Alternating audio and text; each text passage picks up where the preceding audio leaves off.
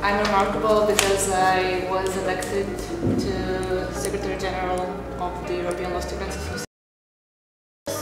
Built the first blockchain-based e-commerce to serve the African woman market. Also choose to do something in which I actually have, I can have an impact on society.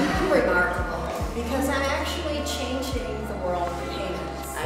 feel that I have a positive impact on the people that I interact with.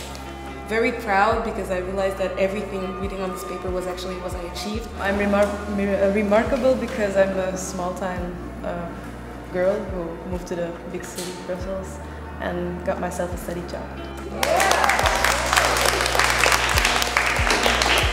I am a remarkable woman Quaker. I am a remarkable woman Quaker.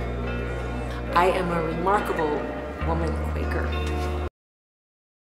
A remarkable woman Quaker.